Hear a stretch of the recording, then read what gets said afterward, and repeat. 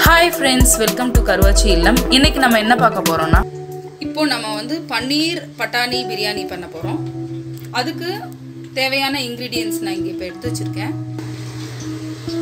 மூணு கிளாஸ் மூணு cup basmati rice நல்லா வாஷ் பண்ணிவிட்டு ஊற வச்சுருக்கோம். நெக்ஸ்ட்டு ஒரு பேக்கெட் பன்னீர் எடுத்திருக்கோம். இப்போ நல்லா ஸ்லைஸாக கட் பண்ணி வச்சுருக்கோம்.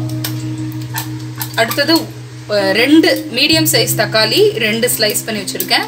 ரெண்டு பச்சை மிளகா கொஞ்சம் கொத்தமல்லி ஒரு ஸ்பூன் இஞ்சி பூண்டு எடுத்து வச்சுருக்கேன் நெக்ஸ்ட்டு புதினா ஒரு ஹாஃப் கப்பு புதினா எடுத்து வச்சுருக்கோம்.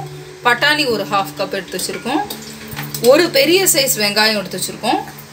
அடுத்தது பிரியாணி தாளிக்கிறதுக்காக அரை ஸ்பூன் சோம்பு அரை ஸ்பூன் ஜீரகம் எடுத்து வச்சுருக்கோம். ஒரு நட்சத்திர சோம்பு மூணு லவங்கம் எடுத்து வச்சுருக்கோம் கிராம்பு ஒரு பட்டை அப்புறம் ஒரு பிரியாணி இலை எடுத்து வச்சுருக்கோம். ஒரு பத்து மிளகு எடுத்துக்கிட்டா போதும் ரெண்டு மராட்டி மூக்கு. ஸோ இதெல்லாம் வந்து பிரியாணி தாளிக்கிறதுக்கு எடுத்து வச்சுருக்கோம். ஸோ இப்போ வாங்க நம்ம பிரியாணி பண்ணுவோம். இப்போ நான் குக்கரில் தான் பண்ண போகிறேன் அதனால இப்போ தாளிக்கிற திங்ஸ் எல்லாம் எடுத்துகிட்டு வந்தாச்சு. இங்கே இப்போ ரெண்டு ஸ்பூன் ஆயில் ஊற்றிருக்கேன் ஒரு ஸ்பூன் கீ ஊற்றிருக்கேன் என் நெய் ஊற்றிருக்கேன் இப்போ நம்ம இதை தாளிக்கிற திங்ஸ் எல்லாத்தையும் போட்டுக்கலாம். மசாலா ஐட்டம்ஸ் எல்லாத்தையும் போட்டுக்கலாம்.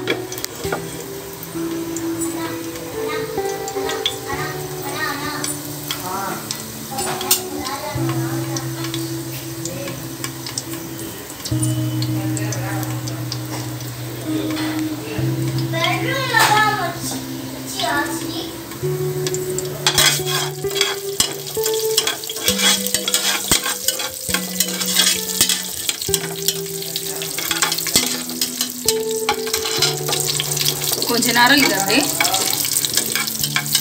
வதக்கிக்கலாம்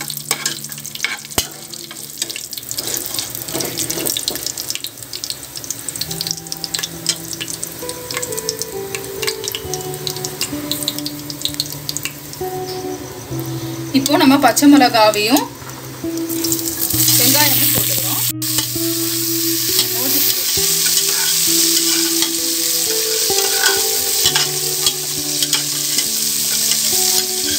இப்போ வெங்காயம் நல்லா பொன்னிறமாக நல்ல ரோஸ் கலரில் வர வரைக்கும் நம்ம வதக்கிக்கலாம்.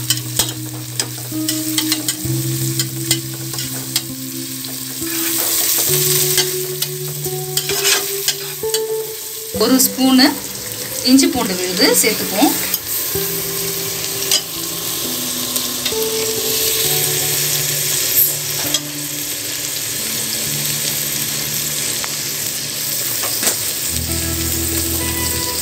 இஞ்சி பூண்டு அந்த ஸ்மெல் போகிற வரைக்கும்.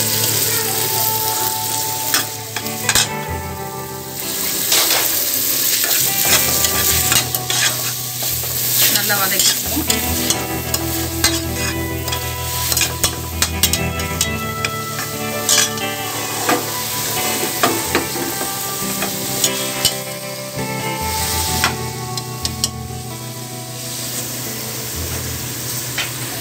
கொஞ்ச நேரம் அப்படியே வதங்கட்டும்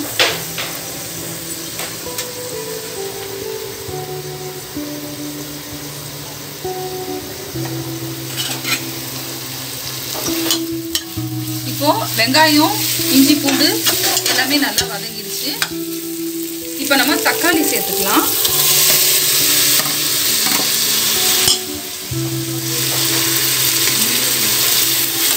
தக்காளி சேர்த்துட்டு எப்பயுமே தக்காளியோட கொஞ்சம் உப்பு போட்டுக்கணும். அப்போ தக்காளி சீக்கிரமாக நல்லா வதங்கிடும். சீக்கிரமாக வதங்குறதுக்கு நம்ம உப்பு போட்டுக்கிறோம். நல்லா தக்காளி நல்லா ஸ்மாஷ் ஆகிற வரைக்கும்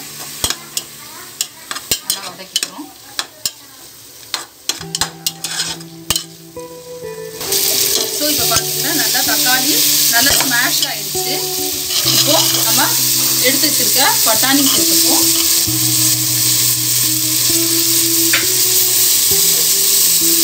பட்டாணி சேர்த்துட்டு சும்மா ஒரு ரெண்டு வதக்கு வதக்கிட்டு பன்னீர் சேர்த்துக்குவோம் பன்னீரும் நம்ம இப்போவே ஃப்ரை பண்ணிட்டோம்னா சாஃப்ட் ஆகிடும் பன்னீர் இதோட சேர்ந்து சாஃப்ட் ஆகிடும் ஹார்ட்னஸ் இருக்காது. இப்போ நம்ம மை மசாலா ஐட்டம்ஸ் எல்லாம் ஆட் பண்ணிக்கலாம். நான் ஒரு ஸ்பூன் காஷ்மீரி மிளகாய் தூள் எடுத்திருக்கேன் கலருக்காக ஒரு டேபிள் ஸ்பூன் கரம் மசாலா எடுத்திருக்கேன். ஒரு டேபிள் ஸ்பூன் மஞ்சத்தூள் எடுத்திருக்கேன். அடுத்தது தனி மிளகாய் தூள் வெறும் வரமிளகாய் தூள் ஒரு ஒரு ஸ்பூன் எடுத்திருக்கேன். ஸோ இது எல்லாத்தையுமே நம்ம ஆட் பண்ணிப்போம்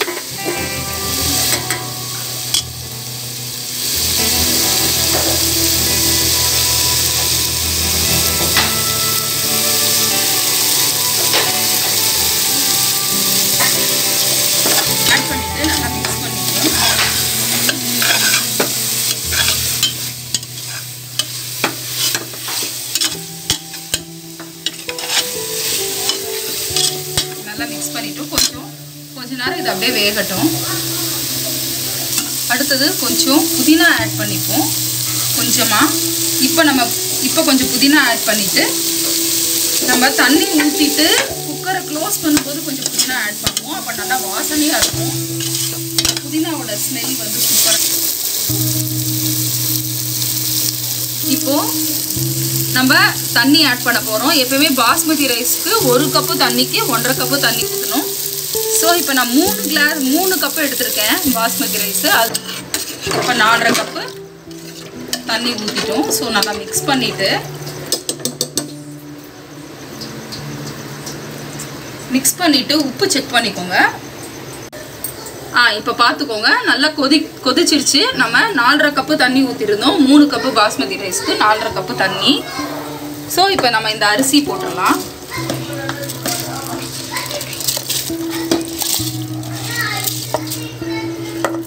நம்ம எடுத்து வச்சிருந்த அரிசியை போட்டுடலாம்.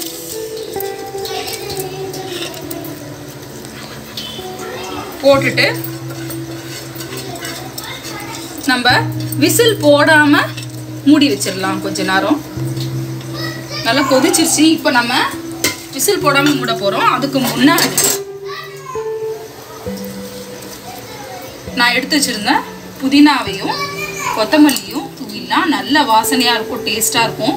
கொத்தமல்லியும் புதினாவும் அந்த வாசனையோட அந்த பிரியாணி பன்னீர் டேஸ்ட்டு நல்லாயிருக்கும் இப்போ நம்ம குக்கர் போட குக்கரை க்ளோஸ் பண்ணிவிட்டு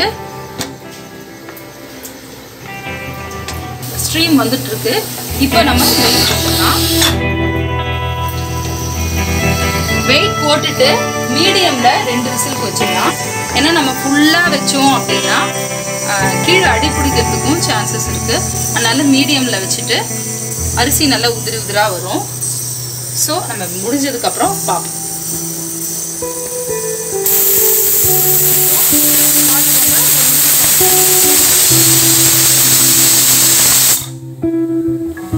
ரெண்டு விசில் விடணும்னு சொல்லியிருந்தோம். ஒரு விசில் வந்துடுச்சு. இன்னும் ஒரு விசில்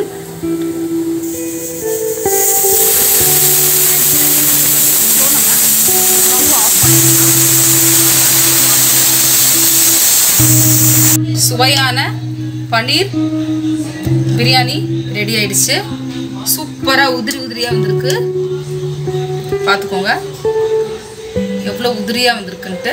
இப்போ இதில் நம்ம லெமன் சேர்த்துக்கலாம். லெமன் ஒரு ஆஃப் லெமன் அப்படியே புழிஞ்சு விட்டுக்கலாம். செம்ம டேஸ்ட்டாக இருக்கும்.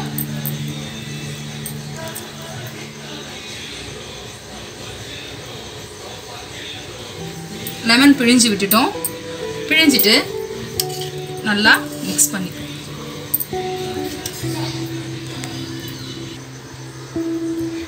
சுவையான பன்னீர் பட்டாணி பிரியாணி ரெடி ஆயிடுச்சு நல்லா உதிரி உதிரியாக இருக்குது நம்ம இது கூட சைட் டிஷ்ஷாக பட்டாணி உருளைக்கிழங்கு குருமா வச்சுக்கலாம்.